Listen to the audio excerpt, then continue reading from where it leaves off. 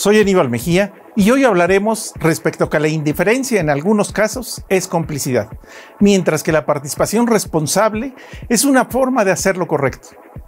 Expliquemos el tema.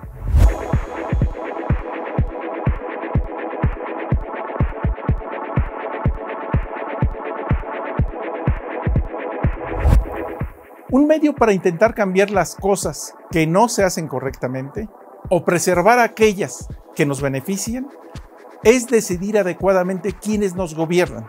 Y eso se puede lograr mediante el voto. Sufragar lleva apenas unos minutos. Las consecuencias de no hacerlo o hacerlo sin reflexionar puede llevar décadas. Muchas penas y dolores sociales tienen sus orígenes en la apatía. Votar es un derecho que costó muchas luchas, así como vidas de hombres y mujeres de bien. Baste recordar que hasta hace relativamente pocos años en México, las mujeres no lo podían hacer y ahora numéricamente son determinantes a la hora de inclinar la balanza democrática.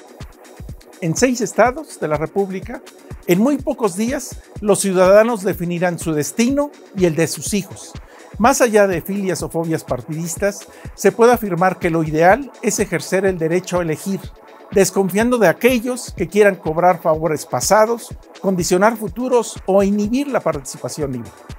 Por ello, vale la pena reflexionar y reiterar que la indiferencia en algunos casos es complicidad, mientras que la participación responsable es una forma de hacer lo correcto. Se elegirán seis gubernaturas que en su conjunto representan casi el 20% de las existentes en el país. Ya se verá para dónde se inclina la voluntad popular, deseando en todo caso que sea una fiesta que se viva en paz. Finalmente, como sociedad, debemos aspirar a no ser indiferentes ante el dolor o pena social ajena y actuar en consecuencia. ¿No les parece? Soy Aníbal Mejía y le reitero la invitación, cortesía de AD Noticias, para vernos y escucharnos en la próxima video columna. Hasta la vista.